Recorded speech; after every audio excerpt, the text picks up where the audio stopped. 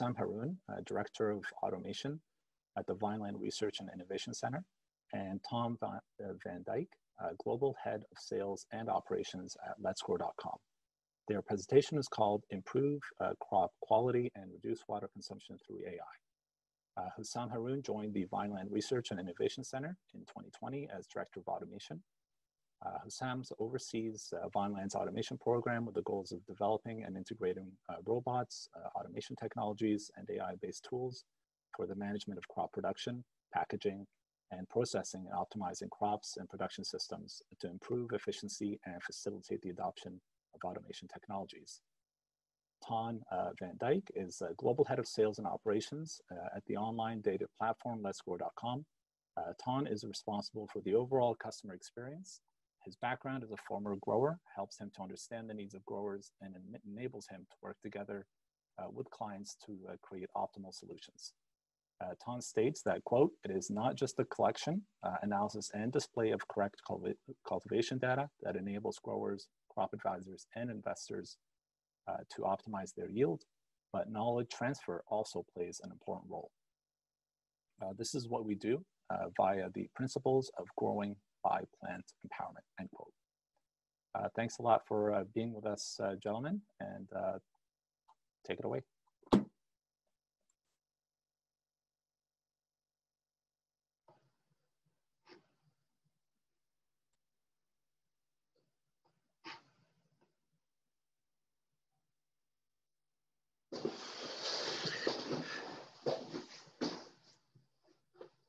Great, thank you. Welcome everybody. Um, I see that um, my video is still black and Luis is on. There we are. Um, welcome, uh, nice to be here. Um, and uh, in the combined presentation of uh, Vineland Research Center and uh, Let'sGrow.com, and uh, we're going to explain you a little bit more about uh, uh, the smart decision system above smart irrigation and how we're going to tell you more about create more with less um, with the new techniques like artificial intelligence. But before we go to um, the details of, of the smart irrigation, um, we first want to go to uh, the challenge we have. Uh, if you go to the next slide, please, so Sam. And as we all know, is that um, in global, we have a huge challenge about fresh water. Um, as you can see in all researchers, agriculture is using 70% or 70% of the fresh water globally. Of course, a lot of this water is used in open fields and must be used because you need water to grow plants. But um, we need to do that more efficient um, because we need to produce more food and there will be less available fresh water. So we have to be smart. Um, and why do we have to produce more food? If you go to the next slide, please, uh, Hussam, is that what you can see over here is in 30 years, we've got a, well, 25% growth of global population. And well, with that in the back of your mind, you can imagine that everybody who can do a little bit of reducing the water consumption um, and who is able to do that, in fact, has the obligation to do that. So, with that in the back of our mind, uh, together with uh, Vineland, we, um, we started a, a, project a few years ago. But before we're going to tell you about that, um, um, Fadi, introduce us a little bit. Uh, Hussam, who are you? Thank you, Ton. Thanks for um, this kind uh, introduction. Um, and we're really excited about this collaboration and partnership that we're, we're having with Let's Grow. So um, as Fadi introduced us earlier, so my name is Hussam Haroon, and I'm the Director of Automation.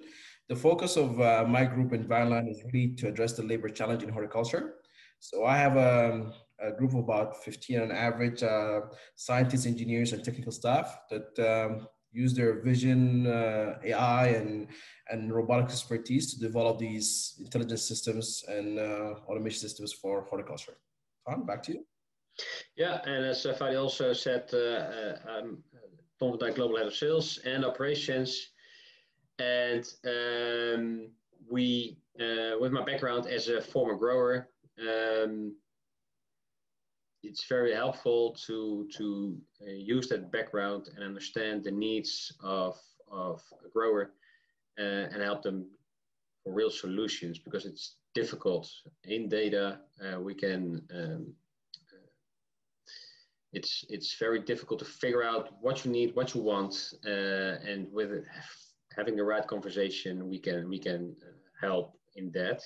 Um, with it, Let's Grow, I support uh, or I steer a group of uh, 20 people of sales and operations, and um, yeah, as you can see, Let's Grow is the world leading platform uh, in data. We're an online platform, exists already for uh, almost 20 years. And by collecting data uh, from different devices, um, even manual, combining that data, visualizing that data, and the last five years even analyzing that data um, to bring information to the growers, will help them uh, to improve their uh, results. And as Fadi also said uh, in my introduction, um, it's not just about interpreting data. Now, what we do is that do this with plant physiology knowledge, um, with plant empowerment as a basis. And with that, we can, uh, as Let's Grow, via online uh, data analysis, we can really optimize results of growers. Up to you, uh, Hussam. Okay, thank you. So really what makes Vineland unique in this space, our focus on horticulture, but also our cross-functional capabilities, where um, our engineers or researchers can work across the board with plant biologists, as well as uh, consumer insights and biocontrol to focus and address the labor challenge. We were looking at that labor challenge even before COVID became an issue over the last, um, since uh, earlier this year. Uh, but now with food security, labor challenge is even a bigger discussion.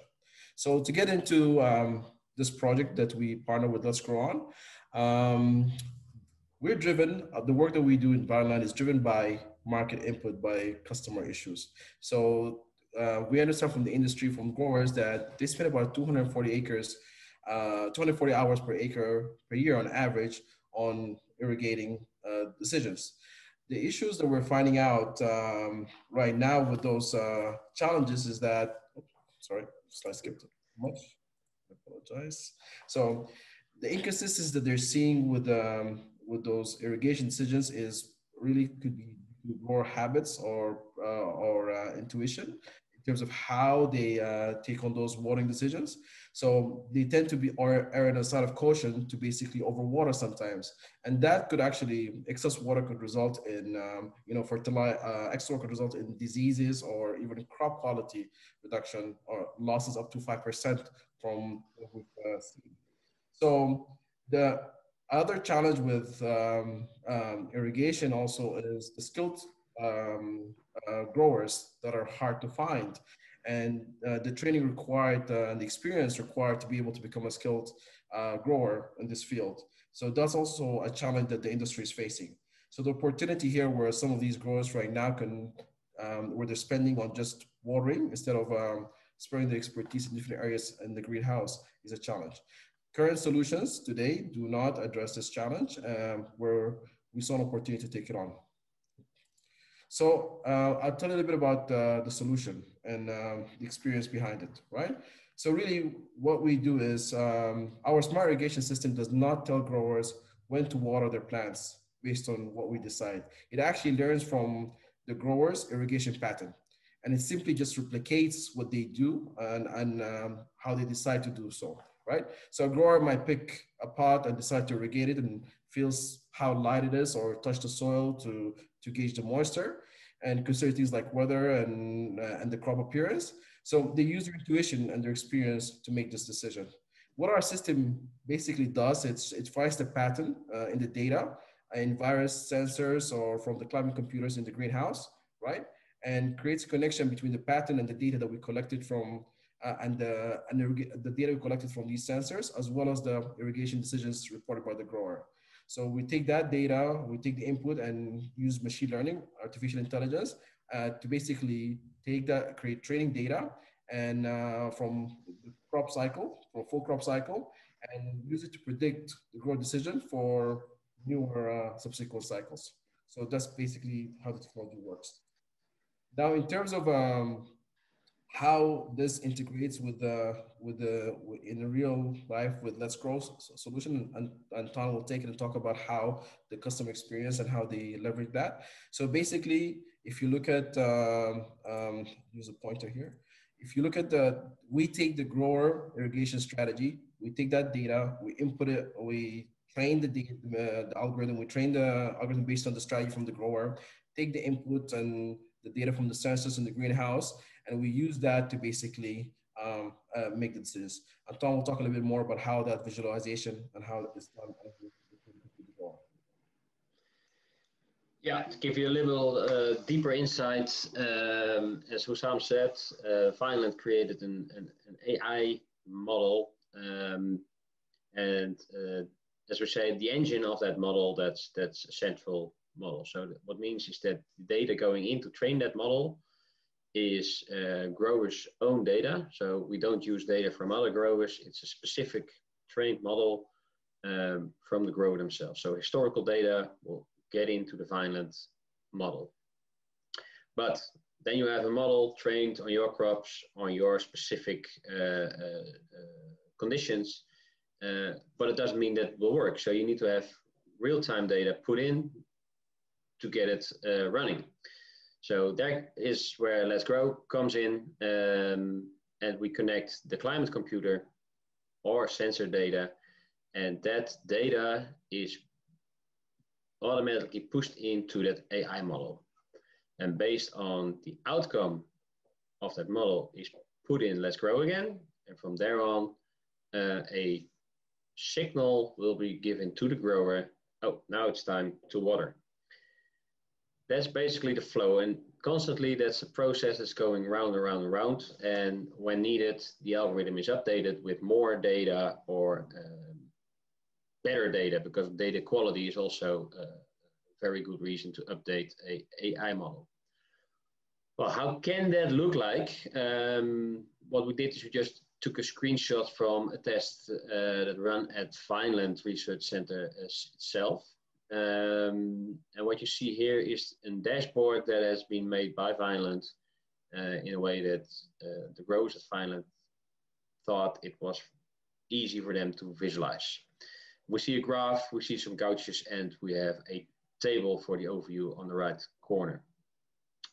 Um, there you just see the data. And what you see over there is, uh, if you move a little bit up, you see the start crop in that overview. On the 11th uh, is a start crop. And you see that coming back indeed to some where you are with the, the pointer, the red vertical line, that is the start of the crop. So the grower enters, I started growing this growth cycle. Um, and that's the signal for the model and for Let's Grow to push data into the model.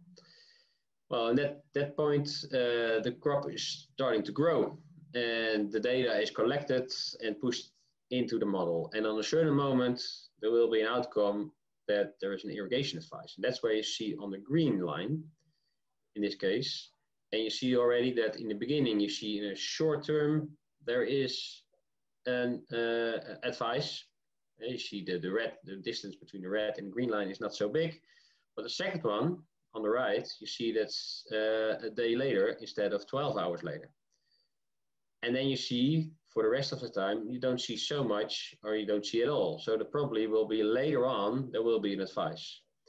Well, that's the outcome of the algorithm. Well, and I hear people think, um, yeah, nice to see that in a graph or in an overview, but how do I know? Um, do I have to check that graph every day? No, you don't. Um, we created a, a, a signal that is sent via or SMS or email to the grower. Um, and then it's up to him in the end to decide if he wants to water or not. And that's a process. So what I mean with that is that um, you have to get acquainted and get trust in an algorithm. And you can compare it a little bit. And Hussam was laughing when I explained it the first time in that way. Um, when an electric car like the Tesla, it has an automatic pilot. And um, if you're driving the, the road and you press autopilot, for sure you're going to grab the wheel or hit the brakes because you don't know what that car is going to do. So you have to do that in steps. And during time, you get used and you get acquainted with how the car reacts.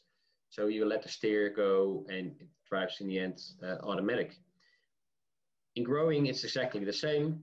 Before you really trust that watering advice, you're through a few crop cycles and you see that the model is right, that when you follow it, then you see, okay, that's going, and in the end, you just do what it says.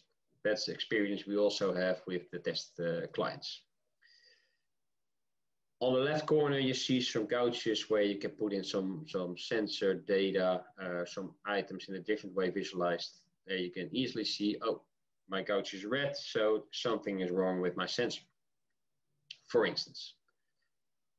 This can be all custom made by the themselves, so uh, um, it can be anything. Next slide, please, uh. Thank you, Ton. No, this is a great uh, example. So um, one of the things that we do is um, once we've developed this, we need to test it. So we've done some trials over the last couple of years uh, with this uh, algorithm and the scenarios and trying to figure out what are the boundary conditions.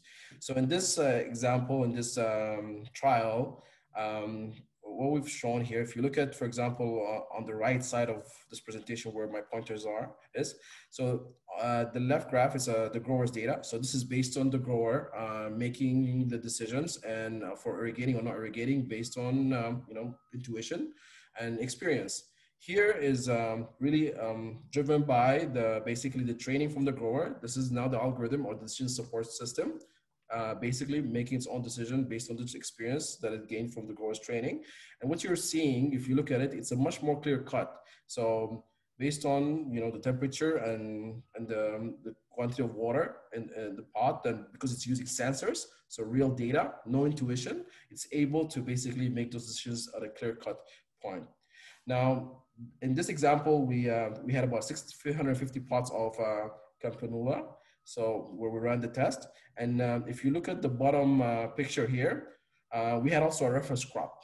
So if you look at the two uh, examples of two uh, plants here, you really can't really tell which one was actually grown by the DSS, the algorithm, or which one was grown actually by the grower um, uh, through irrigation. But on the left, the left side plant here was actually done by the DSS data, by the DSS, by the algorithm. You can see from the roots here, you're seeing a little bit healthier roots. And from those results, we're able to see that there's there's definitely an improvement in um, in basically in the um, in, uh, in, the crop production and in terms of um, uh, there are no losses or there was crops that required to be worked or continuing to be grown for um, for basically after the testing. So we've shown that a decision support system um, with real-time data can produce results that are very uh, impressive. So the outcome uh, results to develop a value proposition for um, for basically the end users, which is basically from our trials, we were able to demonstrate about a 5% decrease in losses, right? Improve crop quality.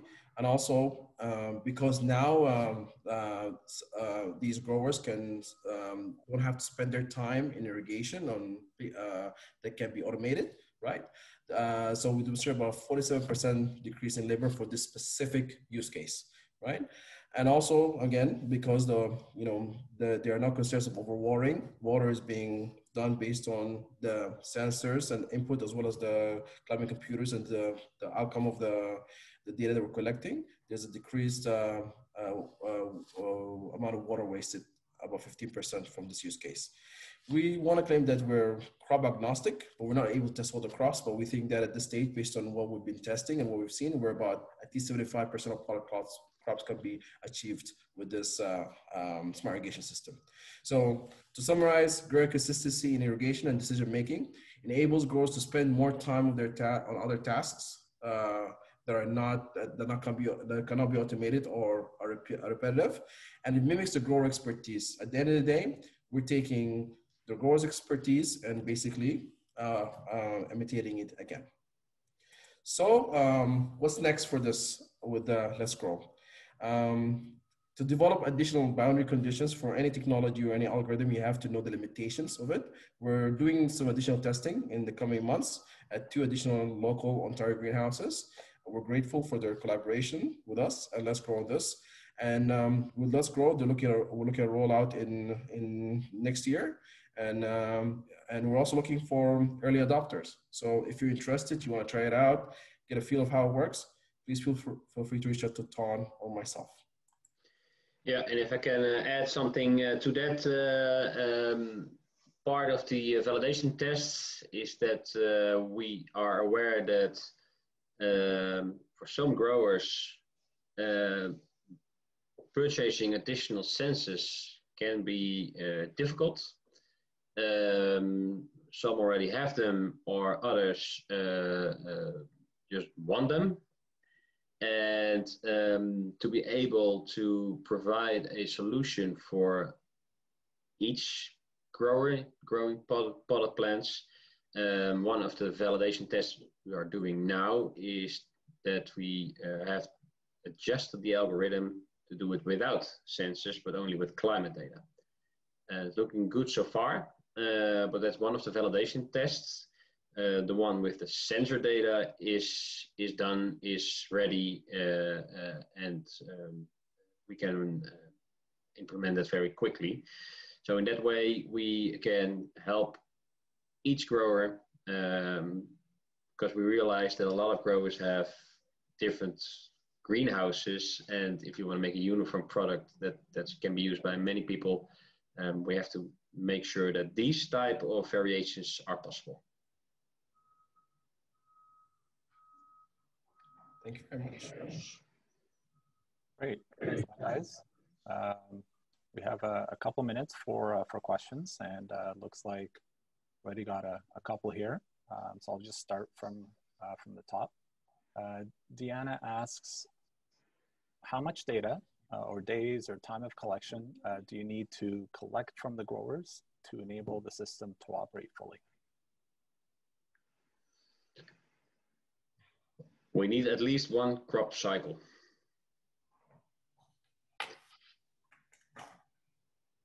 That's that's basically at least one, uh, and during time we'll tell if uh, it needs to have more. But in the test so far, we were able to do it with one full crop cycle. And uh, it's uh, it's important to uh, to think that it and, and to keep in mind that one crop cycle is, is usually the minimum, right? Yeah. Uh, more data, the the better. Great. Um, the second question uh, comes from an anonymous uh, attendee.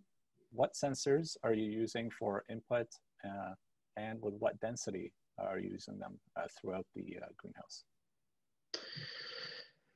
Well, it's it's designed in a way like this. Sorry, Osama, I'm just gonna answer them, but uh, um, if you want to add something, um, it's designed um, that we are capable to deal with each water content sensor that's uh, available. So the option is at the grower themselves um, in which sensor they are willing or wanting to use. And that's, that's one of the core businesses also of Let's Grow to connect different data sources. So uh, that flexibility is at the grower.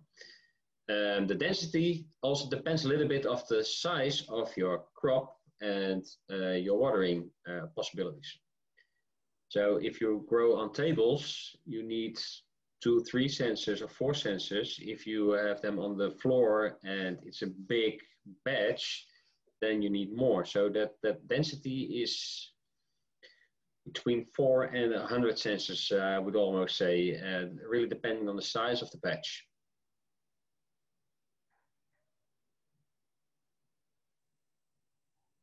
Thanks very much. Um, I'll ask uh, one question, uh, just uh, in the interest of uh, staying on, on time here, and uh, then I'll save the uh, rest of these for discussion later on. so how do you how do you define? So this sorry, this question is from Felipe.